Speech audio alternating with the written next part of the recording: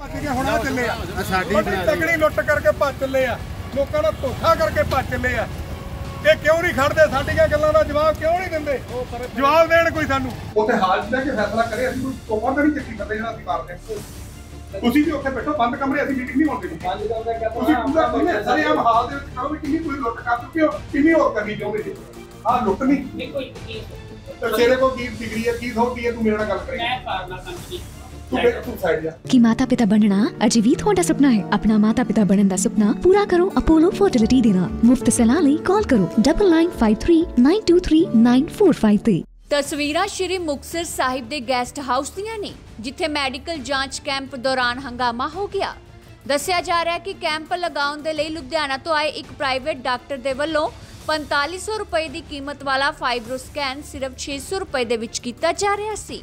ਪੈਸੇ ਐਡਵਾਂਸ ਲਈ ਜਾ ਰਹੇ ਸਨ ਜਿਸ ਦੀ ਕੋਈ ਪੁਖਤਾ ਪਰਚੀ ਵੀ ਨਹੀਂ ਦਿੱਤੀ ਜਾ ਰਹੀ ਸੀ ਤੇ ਟੈਸਟ ਦੀਆਂ ਰਿਪੋਰਟਾਂ ਵੀ 2-3 ਦਿਨਾਂ ਦੇ ਅੰਦਰ ਦੇਣ ਦੀ ਗੱਲ ਕਹੀ ਜਾ ਰਹੀ ਸੀ, ਜਿਸ ਤੋਂ ਕੁਝ ਲੋਕ ਭੜਕ ਉੱਠੇ।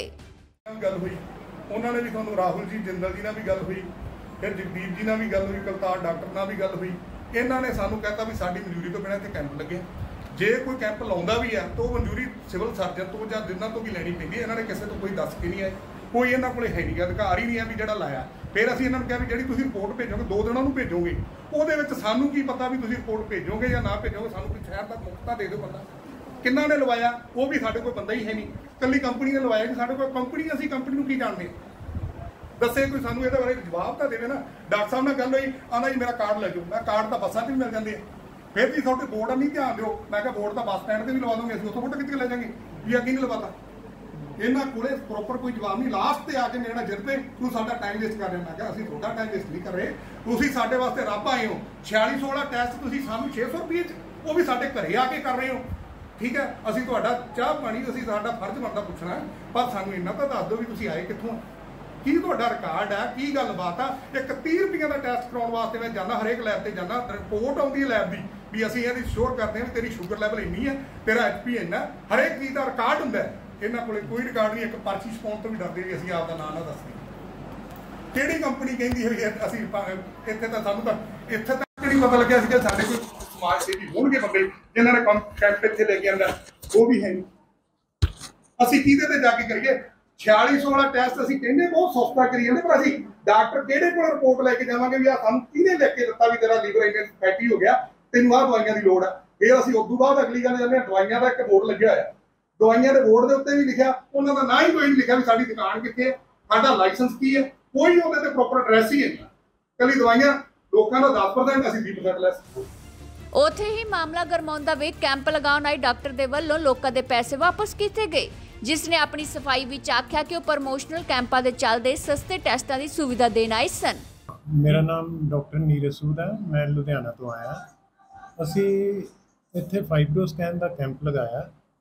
ਵਿਦ ਐਸੋਸੀਏਸ਼ਨ ਵਿਦ ਰਾਈਡਰਸ ਕੈਟਿਲਾ ਤੇ ਇਹ ਕੈਂਪ ਅਸੀਂ 4500 ਰੁਪਏ ਦਾ ਮਾਰਕੀਟ ਤੇ ਦੀ ਕੀਮਤ ਹੈ ਅਸੀਂ ਸਿਰਫ 600 ਰੁਪਏ ਚ ਕਰ ਰਹੇ ਸਰ ਇਹ ਜਿਹੜਾ ਤੁਸੀਂ ਅੱਜ ਕੈਂਪ ਲਾਇਆ ਇਹਦੇ ਬਾਰੇ ਤੁਸੀਂ ਕੋਈ ਜਾਣਕਾਰੀ ਜਾਂ ਕੋਈ ਬੈਨਰ ਜਾਂ ਕੋਈ ਬੁਨਿਆਦੀ ਤੇ ਕਰਾਈ ਨਹੀਂ ਕਿਉਂ ਤੁਸੀਂ ਮਤਲਬ ਲਾਇਆ ਗਿਆ ਸਰ ਬੈਨਰ ਵਗੈਰਾ ਤਾਂ ਇਦਾਂ ਕੁਝ ਵੀ ਨਹੀਂ ਬਣਾਇਆ ਅਸੀਂ। ਮੇਰਾ ਫੇਸਬੁੱਕ ਪੇਜ ਹੈ ਮੈਂ ਫੇਸਬੁੱਕ ਪੇਜ ਤੇ ਆਪਣਾ ਦੱਸਿਆ ਸੀਗਾ ਕਿ ਅਸੀਂ ਇਦਾਂ ਮਤਲਬ ਕੈਂਪ ਲਗਾ ਰਹੇ ਹਾਂ। ਤਾਂ ਲੋਕ ਆ ਗਏ। ਹਸਪੀਟਲ ਤੇ ਕਿੰਨਾ ਨੂੰ? ਵੀ ਕੇਬਲ ਸੂਟ ਕਲੀਨਿਕ ਹੁਣ ਤੱਕ ਕਿੰਨੇ ਸਟੇਸ਼ਨ ਲੈ ਚੁੱਕੇ ਆਪਾਂ ਜੀ? ਆਈ ਥਿੰਕ 100 101 ਹੁਣ ਤੱਕ ਕਿੰਨੇ ਆ ਚੁੱਕੇ ਹਨ ਹਾਂਜੀ। ਹੁਣ ਤੱਕ ਕਿੰਨੇ ਆ ਚੁੱਕੇ ਹਨ ਹੁਣ ਤੱਕ ਇੰਨੀ ਨੌਲੇਜ ਨਹੀਂ ਹੈ ਬਾਹਰੋਂ ਪਤਾ ਚੱਲੇਗਾ। ਮੈਂ 101 ਤੱਕ। ਸਰ ਮੇਰਾ ਨਾਮ ਹਰਦੀਪਕ ਸਿੰਘ ਜ਼ੈਡਸ ਡਿਸਕਵਰੀ ਡਿਵੀਜ਼ਨ 'ਚ ਮੈਂ ਕੰਮ ਕਰਦਾ। ਕਿਹੜੇ ਸਰ ਅੱਜ ਅਸੀਂ ਲ- ਅ, ਹਾਂਜੀ। ਕਿੱਥੋਂ ਆਏ ਲੁਧਿਆਣਾ ਹੈੱਡਕੁਆਟਰ ਹੈ ਜੀ ਮੇਰਾ। ਅਸੀਂ ਮੁਕਤਸਰ ਕੈਂਪ ਕੰਡਕਟ ਕੀਤਾ ਫਾਈਬਰੋ ਸਕੈਨ ਦਾ ਕੈਂਪ ਜਿਹੜਾ 4500 ਦਾ ਟੈਸਟ ਹੈ ਇੱਥੇ ਇੱਥੇ ਅਸੀਂ ਅ, ਛ- ਅ, 600 ਰੁਪਏ ਚ ਕੰਡਕਟ ਕੀਤਾ ਹੈ। ਇਹ ਇੰਨਾ ਸਸਤਾ ਕਿਉਂ ਦਿੱਤਾ ਜਾ ਰਿਹਾ ਹੈ ਸਰ ਕੰਪਨੀ ਵੱਲੋਂ ਨਾ ਪ੍ਰੋਮੋਸ਼ਨਲ ਬੇਸਿਸ ਤੇ ਇਹ ਚੀਜ਼ਾਂ ਕੀਤੀਆਂ ਜਾਂਦੀਆਂ ਨੇ ਵੀ ਜਿਹੜੇ ਪੇਸ਼ੈਂਟ ਇੰਨਾ ਕੋਸਟਲੀ ਟੈਸਟ ਨਹੀਂ ਕਰਾ ਸਕਦੇ ਉਹ ਅਸੀਂ ਸਸਤੇ 'ਚ ਇਹ ਸਰਵਿਸ ਪ੍ਰੋਵਾਈਡ ਕਰਾਉਂਦੇ ਹਾਂ ਉਹਨਾਂ ਨੂੰ। ਇਹਦੇ ਬਾਰੇ ਕੋਈ ਜਾਣਕਾਰੀ ਜਾਂ ਕੋਈ ਪਰਮਿਸ਼ਨ ਸਿਵਲ ਸਰਜਨ ਦੀ ਜਾਂ ਕਿਤੇ ਹੋਰ ਵੀ ਸਰ ਦੇਖੋ ਕੰਪਨੀ ਵੱਲੋਂ ਆਲਰੇਡੀ ਪਰਮਿਸ਼ਨ ਹੈਗੀ ਹੈ ਸਰ ਤੁਸੀਂ ਕੋਈ ਬੁਨਿਆਦੀ ਵਗੈਰਾ ਸੈਟ ਕਰਾਈ ਸੀ? ਅਸੀਂ ਲੁਧਿਆਣੇ ਲੁਧਿਆਣੇ ਹਰੇਕ ਜਗ੍ਹਾ ਕੈਂਪ ਕੰਡਕਟ ਕਰਦੇ ਹਾਂ। ਸਾਨੂੰ ਸਰ ਜੇ ਤੁਸੀਂ ਕੋਈ ਬੁਨਿਆਦੀ ਕਰਾਈ ਸੀ ਲੋਕਾਂ ਨੂੰ ਬੁਨਿਆਦੀ ਇਸ ਕੈਂਪ ਬਾਰੇ ਜਾਣਕਾਰੀ ਦਿੱਤੀ ਕਿਸੇ ਨੇ ਹਾਂਜੀ ਸਾਡੀ ਆਨਲਾਈਨ ਆਫੀਸ਼ੀਅਲੀ ਇਸ ਚੀਜ਼ ਨੂੰ ਸਰਕੂਲੇਟ ਕੀਤਾ ਗਿਆ ਸੀ। ਇਹਦੇ ਵਿੱਚ ਸੀ ਆਨਲਾਈਨ ਫੇਸਬੁੱਕ ਤੇ ਇੰਸਟਾਗ੍ਰam ਤੇ ਜੀ ਸਰਕੂਲੇਟ ਹੋਈ ਹੈ। ਇਹਨਾਂ ਦਾ ਕਹਿਣਾ ਕਿ ਜਿਹੜੀ ਪਰਚੀਆਂ ਉਹ ਡੁਪਲੀਕੇਟ ਬਣਾ ਦੇਖੋ ਕਿਸੇ ਵੀ ਲੈਬ ਤੋਂ ਆਪਾਂ ਰਿਪੋਰਟ ਕਰਾਉਣ ਜਾਂਦੇ ਆ ਨਾ ਸਾਨੂੰ 2 ਤੋਂ 3 ਦਿਨ ਲੱਗਦੇ ਆ ਰਿਪੋਰਟ ਮਿਲਣ ਚ ਐਕਚੁਅਲ ਰਿਪੋਰਟ ਮਿਲਣ ਇਹ ਚ ਦੂਸਰੀ ਗੱਲ ਜੀ ਪਹਿਲੀ ਗੱਲ ਤਾਂ ਡਾਕਟਰ ਟੈਸਟ ਕਰੇ ਉਹਦੀ ਤਾਂ ਪਰਚੀ ਹੁੰਦੀ ਹੈ ਮੈਡੀਕਲ ਦਵਾਈ ਹੈ ਉਹਦੀ ਦੇਖ ਕੇ ਦੇਣਗੇ ਉਹ ਕਿੱਥੇ ਦੇਣਗੇ?